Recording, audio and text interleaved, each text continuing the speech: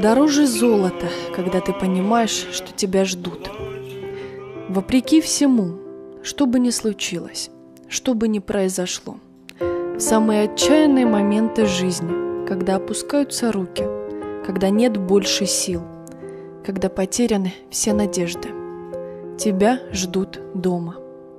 Семья, дети, тепло, внимание, поддержка – рука на твоем плече, что помогает подниматься вновь и вновь. И какой бы дорогой ты ни шел, и пускай этот путь будет нелегким, иногда тебе будет казаться, что ты двигаешься в неправильном направлении, иногда будешь стоять на распутье дорог и не знать, какую выбрать.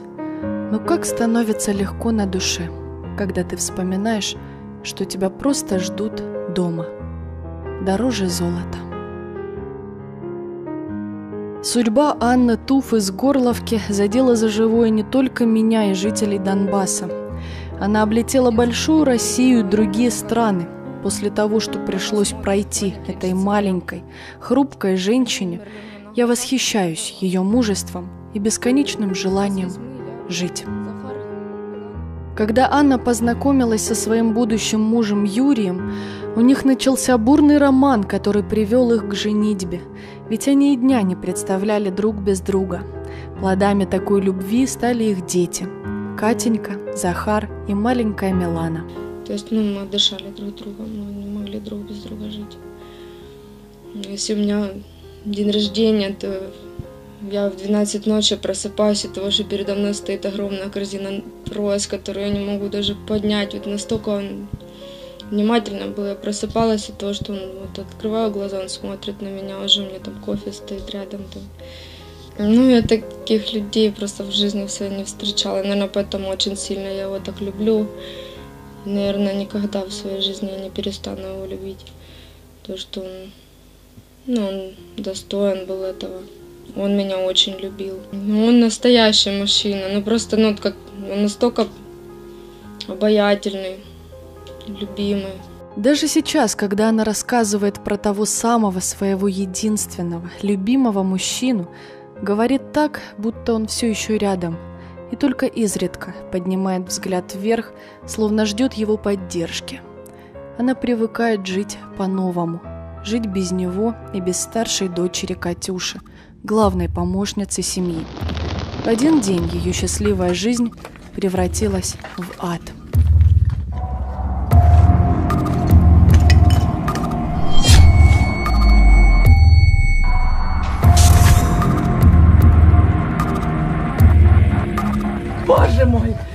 Что?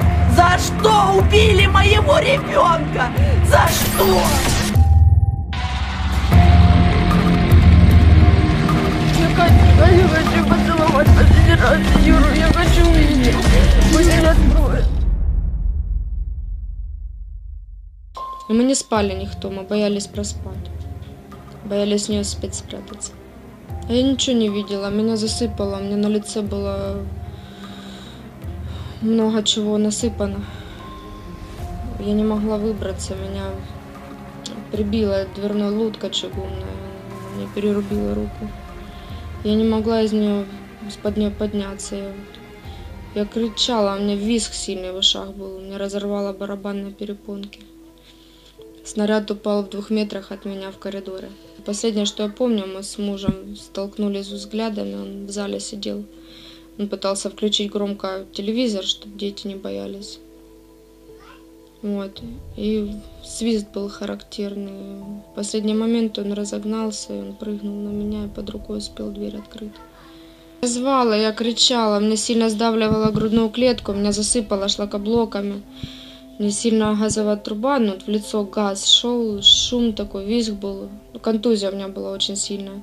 Я кричала, я его звала, я кричала, освободи меня, не могу дышать, я сейчас задохнусь. Кричала Юра, Катя кричала очень, слышала. Очнулась от того, что кричит малой. Я слышала, что он засыпанный, он где-то из-под ну, из грунта кричит.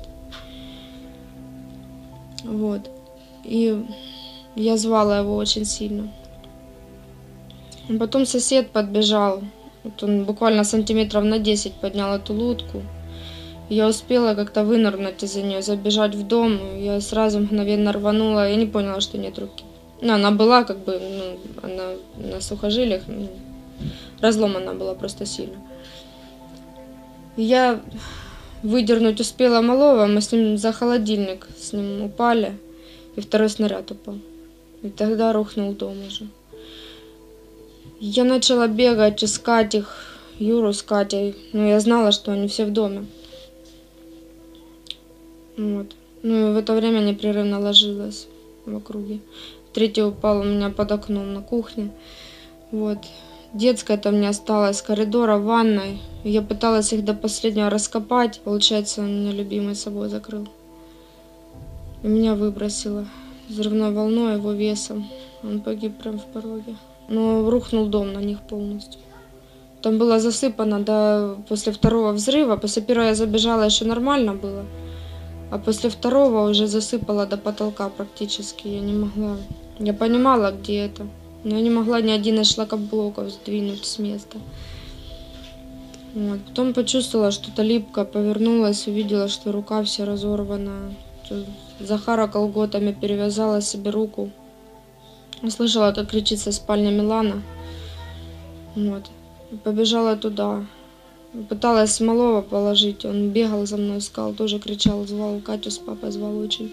Боль. Невыносимая, ужасная боль. В душе не было больше ничего, кроме этого.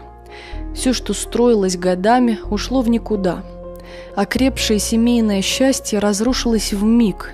Где искать правду? Как найти в себе силы? У Анны не было ни желания, ни стимула жить.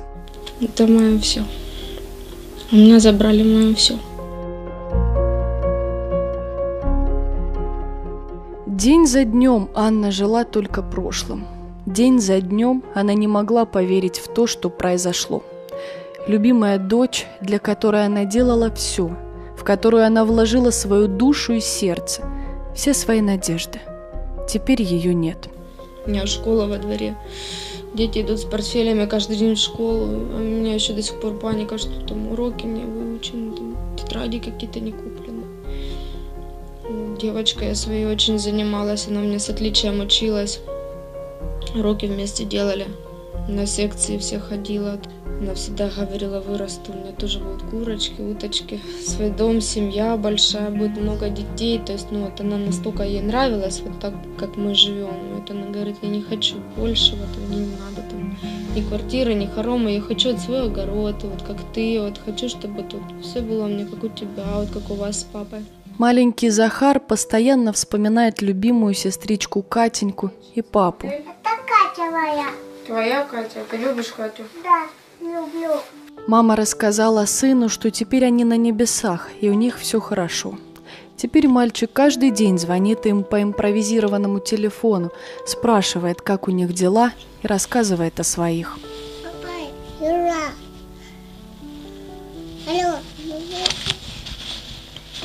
Ты улетел с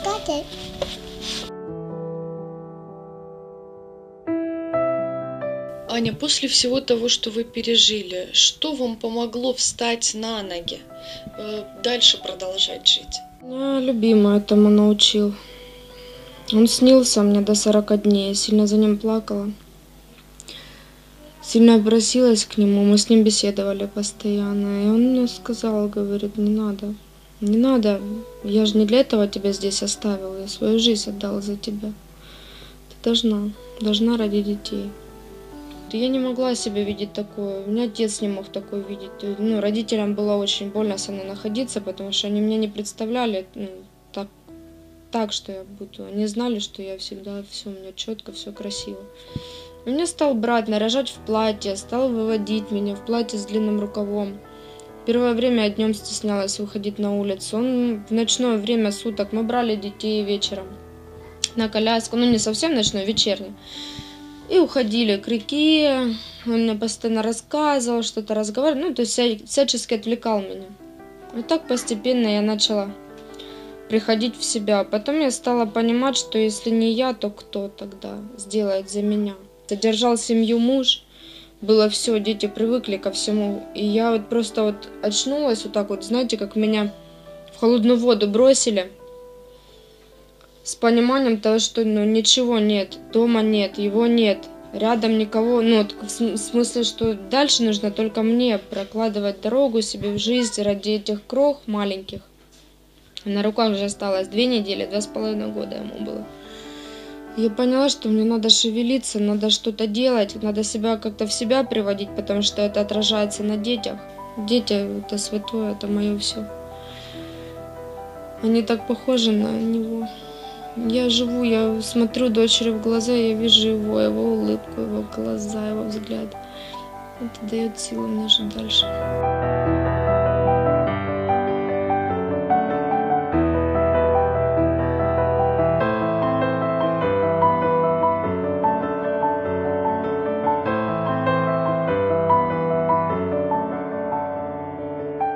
Станьте творцом своей судьбы. Это лучшее, что вы можете сделать в жизни. Если кому-то нужно измениться рядом с вами, это произойдет. Мы рождаемся отдельно друг от друга и уйдем сами по себе. И пути у всех будут разные.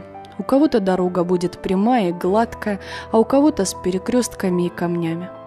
Но куда бы мы ни шли, все же как приятно понимать, что тебя ждут. Ждут дома.